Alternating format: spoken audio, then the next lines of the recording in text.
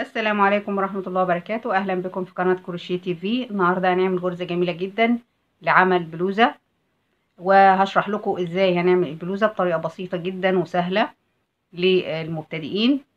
الغرزة بتاعتنا من مضاعفات العدد أربعة. الغرزة بتاعتنا بتتكون من مجموعتين. عندي هنا مجموعة عواميد آه، تلات عواميد سلسلة وعندي المجموعة التانية مجموعة سلاسل. وبنرجع نكرر تاني. عواميد. تلات عواميد سلسلة وبعد كده نكرر السلاسل. الأدوات اللي إحنا هنستخدمها هنستخدم خيط Cotton Gold ومعاه إبرة رقم اتنين ونص. طبعا لعمل البلوزة آه، إحنا هنعملها بلوزة صيفي آه، فممكن تشتغلي بأي خيط مع إبرة مناسبة. أهم حاجة إن إحنا ناخد المقاسات مظبوط. إحنا بناخد دوران الجناب لو البلوزة طويلة ولو البلوزة قصيرة بناخد دوران الصدر.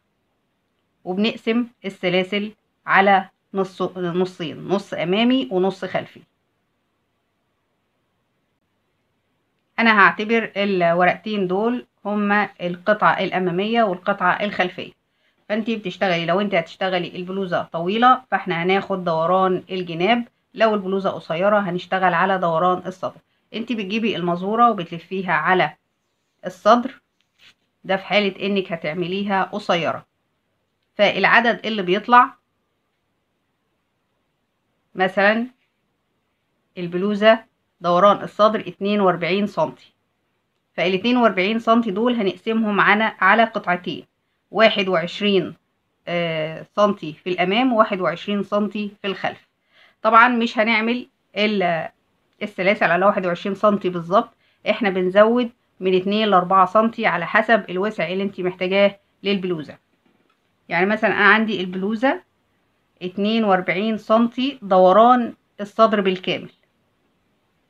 هنقسمهم على اتنين هتساوي القطعة الواحدة هتساوي واحد وعشرين سنتي. الواحد وعشرين سنتي دول بنزود عليهم من اتنين لأربعة سنتي. يبقى القطعة الأمامية هتساوي خمسة وعشرين سنتي. سلاسل. يبقى القطعة الأولى والتانية هتساوي خمسة وعشرين سنتي سلاسل. طبعا قلنا إن هي من مضاعفات العدد أربعة زائد واحد. أنا دلوقتي بديكي مثال بسيط على شرح البلوزة.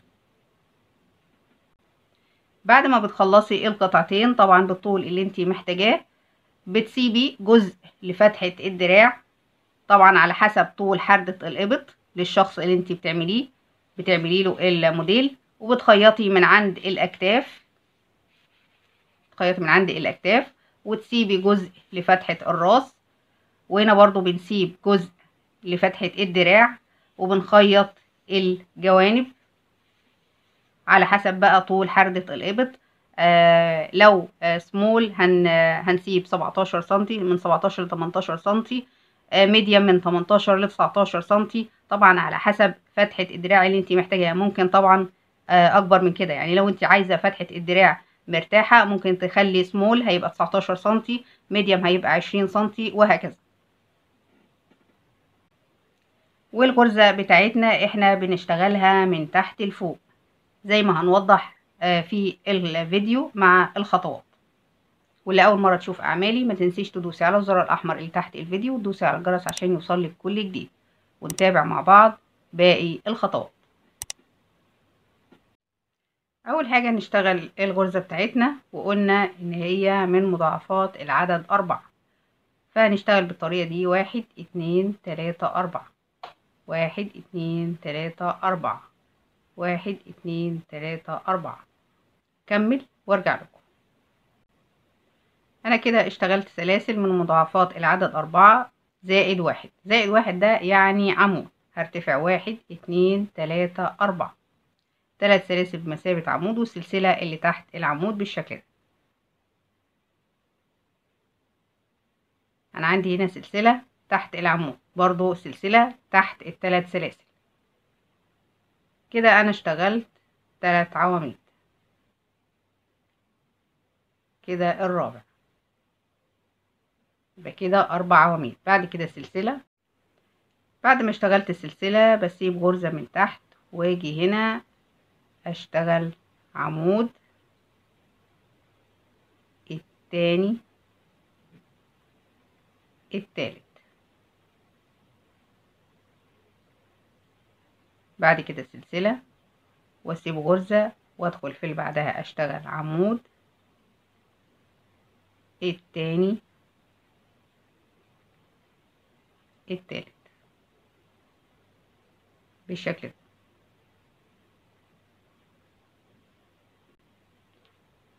وصلت لنهاية السطر.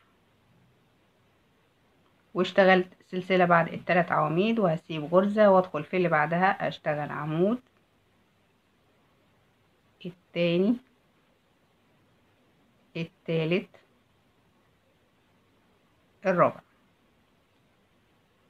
يبقى في بداية الشغل أربع عواميد ونهاية الشغل برضو أربع عواميد.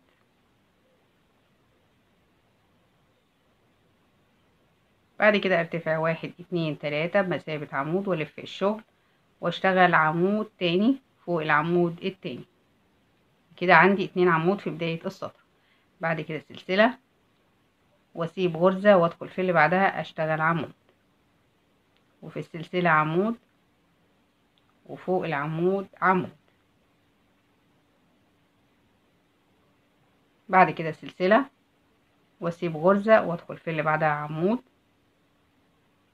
والسلسلة اشتغل عمود. وفوق العمود عمود. وأكمل لنهاية السطر.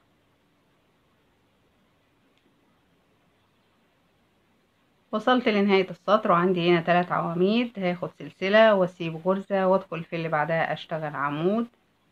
وفي تالت سلسلة من سلاسل الارتفاع آخد عمود. البداية زي النهاية.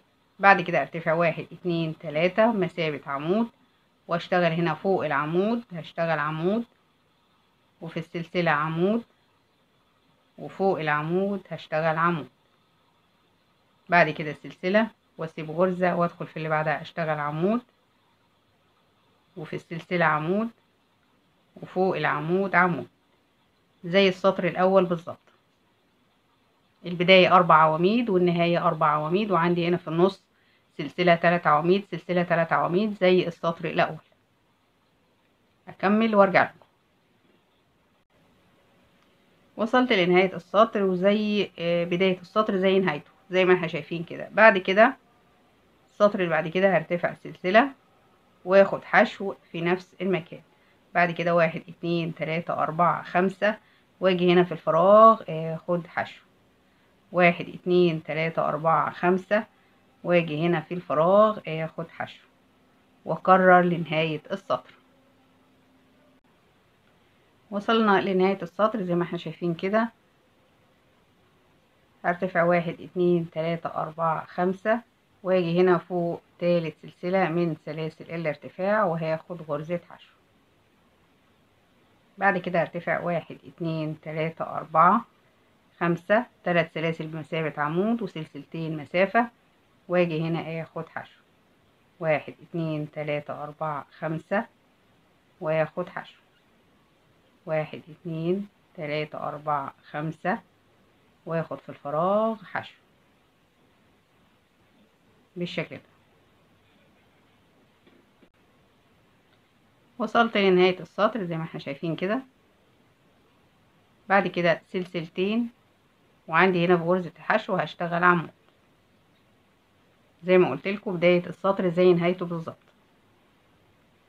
بعد كده سلسلة واخد حشو في نفس المكان. وارتفع واحد اتنين تلاتة تلات سلاسل واجي هنا في الفراغ حشو. واحد اتنين تلاتة وفي الفراغ حشو. واحد اتنين تلاتة حشو. لنهاية السطر. وصلت لنهاية السطر واشتغل واحد اتنين تلاتة. واجي هنا أسيب غرزة التانية وفي التالتة آخد حشو. بعد كده أرتفع واحد اتنين تلاتة. كده عمود فوق الحشو. عندي هنا في التلات سلاسل هشتغل تلات عواميد. يبقى المجموع في بداية السطر أربع عواميد. بعد كده سلسلة وعندي هنا في التلات سلاسل أشتغل تلات عواميد.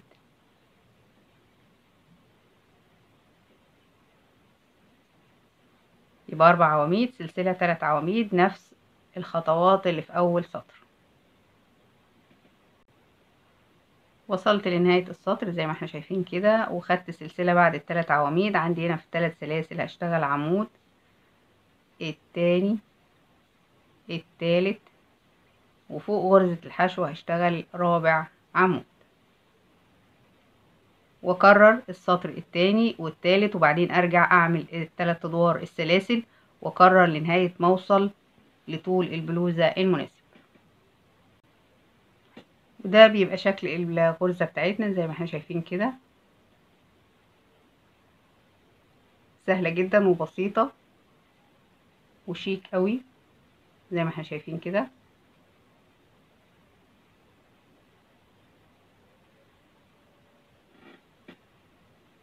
وبكده الغرزة بتكون خلصت معانا وأتمنى يكون الفيديو عجبكم. واللي اول مرة تشوف أعمالي ما تنسيش تدوسي على الزرار الأحمر اللي تحت الفيديو وتدوسي على الجرس عشان يوصلك كل جديد.